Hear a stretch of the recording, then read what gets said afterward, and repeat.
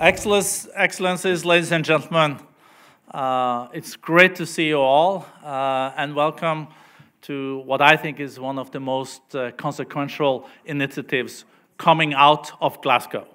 So Secretary Kerry, John, and myself decided before uh, Glasgow that we wanted to mobilize the global industry uh, for net zero. And the most effective way would be to create the demand for green products, to use the purchasing power of the largest companies in the world to then demand in different sectors uh, greener aluminium, greener steel, greener fertilizers, greener shipping, greener air uh, space, and etc.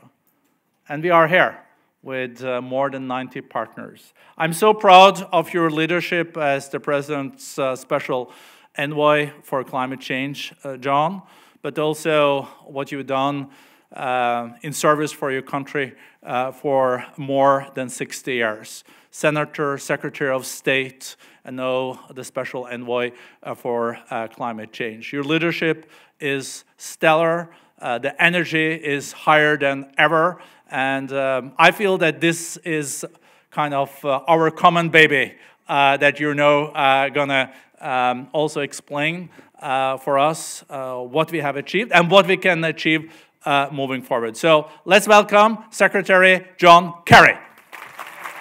Ladies and gentlemen, Børge Brende, President of the incredible World Economic Forum. Ladies and gentlemen, I accept the nomination. I, sorry about that. Just kidding.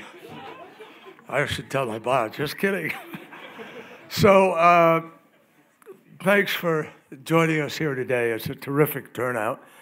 And uh, many of you CEOs and owners or board members, uh, chairs of boards of uh, important companies around the world, and you're here in Dubai because of the importance of this moment.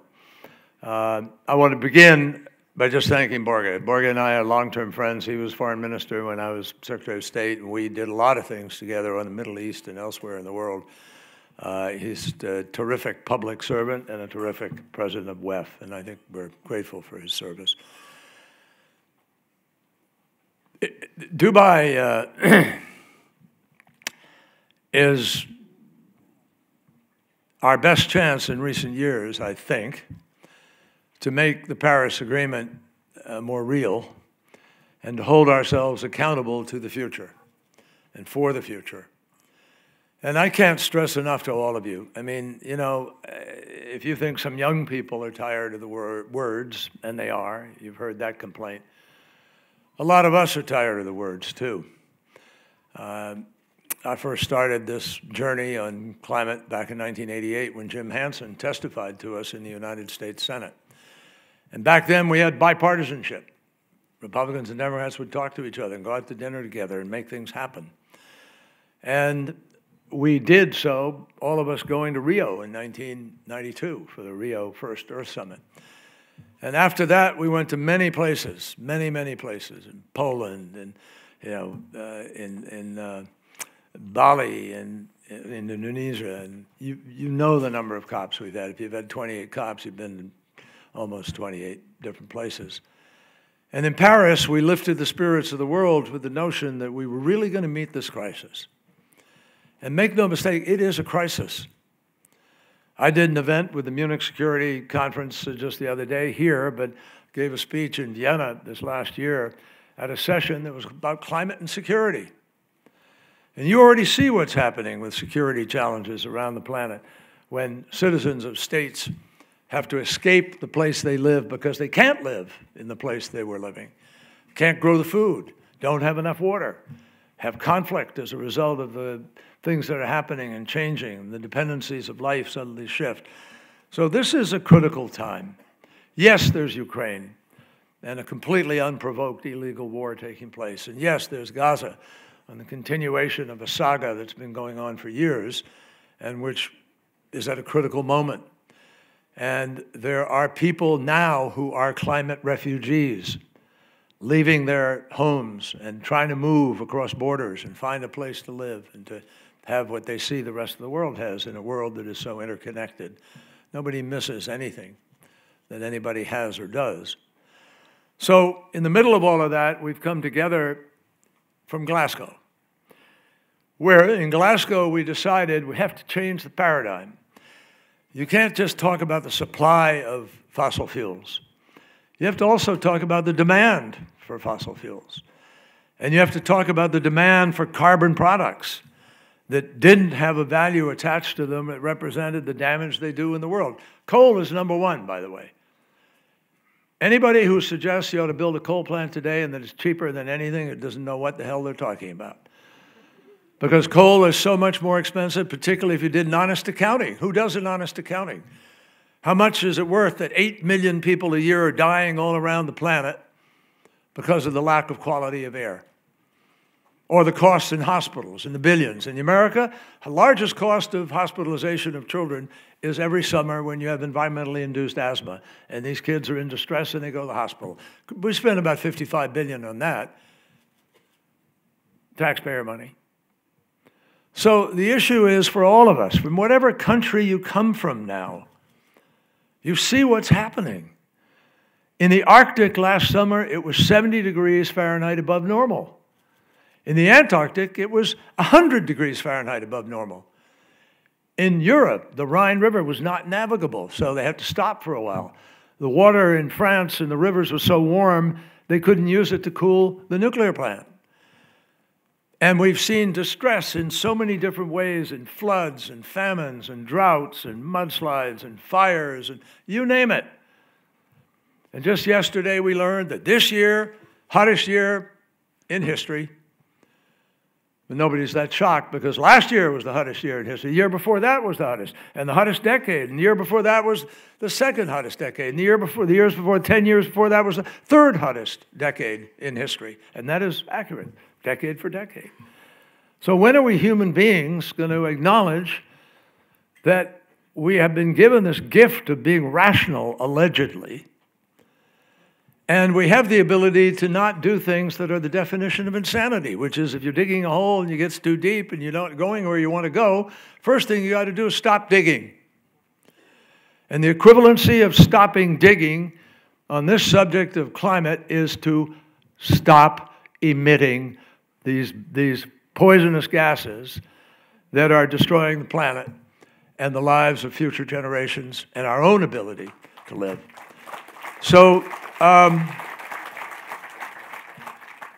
now, I'm not pretending that can be done overnight. I'm not suggesting people have to give up a standard of living. On the contrary, there's a better standard of living out there waiting for people. And jobs that, right now in the United States, we're filling up renewable energy jobs are being filled up with people who had technical skills in extraction technology. And it's translatable to these new technologies which are coming online. And the greater growth in our country today is in renewables, but it's not fast enough. Not fast enough here, not fast enough there, not fast enough anywhere in the world right now. So, long preface, but I think an appropriate one to the challenge that is being met here by a group of business people, some of whom historically have been cursed for creating the problem, or some who have been told all you're doing is greenwashing. Well, no, that's not all people are doing. There are people out there taking risks, putting their companies on the line, putting their bottom line on the line in order to make judgments that will encourage a more rapid transition to this clean energy economy that we have to get to. Now, I am 100% certain, having followed this saga for these years, that we will get to a low carbon, no carbon economy in this planet. We will. What I'm not certain of, and what I don't think anybody can be certain of, is that we are going to get there in time to do what the scientists told us in the 2018 report that we need to do, which is make the decisions now and implement them. This was five years ago. They said you have 12 years left within which to put the, in place the decisions that will avoid the worst consequences of the climate crisis. They didn't say avoid the crisis altogether, they said avoid the worst consequences. So, for all the world to see, and I want the world to see, we have major businesses that have stepped up major businesses from around the world Google, Microsoft, Apple, Salesforce, uh, United Airlines, Lafarge Holcim, one of the largest cement makers in the world, uh, Fortescue, Andrew Forrest, and others. People from around the world who have said, we're going to help send the demand signal to the marketplace that will begin to change this equation so we can accelerate the transition to the new, clean, green economy. And, and what comes with that, folks, I think most of you here understand this, we're not asking anybody to give up the quality of life. We're asking you to actually embrace a better quality of life. If you're not dying because the quality of air sucks, then you got a better quality of life. You're not being sent off as a young person to fight a war to protect the sources of your energy, where energy is now being weaponized. You got a better life. In fact, you even have a chance to stay alive and live it. And, and so it is true with respect to any number of that health broadly, writ broadly. We now understand health is a major issue with, from climate crisis, and it's linked, totally linked.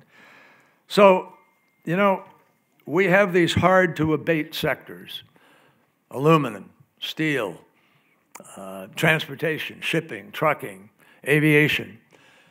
But they're hard partly because for a whole bunch of years they were just ignored. I can remember going to Paris. We didn't even heard the word methane in Paris. And here we are years later with a major announcement this afternoon with China, the United States, and, and the UAE joining together with other countries that are going to say we're going to up our effort on methane, and here's what we're going to do. And it's I won't pre pre-announce it, but the but the World Economic Forum joined with EU and U.S. President Biden, who made the announcement in Glasgow, that we're going to find business people who have a special sense of responsibility, who understand what the stakes are, who are prepared to buy green now in order to send a message to the marketplace that it's safe, you can do it, and it works. And that will embolden other entrepreneurs to come out and start their business, which in turn will accelerate the transition, and then we can begin to scale them at uh, super speed, I hope. So I think this, this is one of the best things we've done at COPS, frankly is come up with the First Movers Coalition. But we need more country, country we need more companies to step up, be part of it. Uh, we have, for instance, Apple and Salesforce and that group I mentioned. They're buying, of all their flight operations, they're making sure that they're buying sustainable aviation fuel to support X amount of those uh, operations. Uh, in the case of Ford Motor Company and General Motors, not small enterprises, folks, and Volkswagen and Hyundai and Toyota and Mercedes and blah, blah, blah, all of them are now making commitments to buy a percentage of the steel they use to make the cars that will be green steel. And so the makers of the steel know they have a buyer. And that encourages other people to come into what would be a growing market. So let me just emphasize to every single one of you, and I'm not going to go on very long here, but I want to just emphasize in this transition that we envision, which is the single biggest economic transformational opportunity since the Industrial Revolution, and it's going to be bigger. Because we have four and a half to five billion users today of energy, and there are eight billion people on the planet, which means there's a gap, and we have to fill the gap. So we have people not complaining about they're deprived of the opportunity to have a decent life uh, and that it's limited only to certain countries that have already developed, et cetera, we have to address that. But we also have to look at the fact that those, those folks are now buying steel that's green, that's helping them move the market. And in fact, our, our, the members of the First Movers Coalition have now signed 96 offtake agreements in support of their commitments. That's really pretty extraordinary, folks, because those offtake agreements give confidence to this market to begin to develop. Scania has sourced offtake agreements with H2 Steel, Green Steel, and SSAB to secure enough near zero steel to more than achieve their first movers commitment. Volvo and Hydro, and you'll hear more from them today, uh, they've made a landmark agreement for supplying near zero aluminum. Maersk has placed the first world, uh, first green methanol capable container ship, the Laura Maersk, into service and signed the biggest offtake deal of its kind with Goldwind. Uh, Andrew uh, will probably stand up, Andrew Forrest. He's got a ship out here in the harbor that came here from, uh, was it Australia or Singapore? Singapore. Singapore. And it came from Singapore and it's running on uh, ammonia. And the future is here in port, folks. But we want you to understand United Airlines launched a $200 million sustainable flight fund, and that includes multiple other FMC members. It's expected to support more than 5 million gallons of sustainable aviation fuel. And this is just a portion of what our members have done. So when we founded this coalition, it was born of the understanding that the climate crisis is too severe too massive for any one player, including any government, to be able to solve it. We can create structure. The IRA, a brilliant example of structure, where an incentive has been created, capital moves to meet the incentive, suddenly you have entrepreneurs seeing a possible future in a market, and boom, off you go. And that is what's happening. And when I first uh, looked at the actions uh, that uh, the first movers have already taken, collaboration between public sector and private sector. Uh, we understand that with the finance and supply and demand, those have begun to come together and they're pushing these markets forward. So, does more have to be done? Yes. But before I hand over to uh, Børge for a further progress update on the FMC, let me just say this to everybody as I close. Every single one of you here should be a first mover. Every single one of you should move your company. If you have a company or you know a company, you're on the board, but every single one of you can push your community to be a first mover, whether it's a school or a building that needs to be refitted. Uh, energy efficiency, the largest, single, cheapest, greatest, biggest gain we can get, energy efficiency. Low hanging fruit. Countless people could be moving in that direction. So I thank everybody for being here. You're going to hear from a really fascinating panel. They're going to talk the new economic reality, and I think this is uh, one of the most important things that will happen in furtherance of this agenda here at the COP. Børge Brende.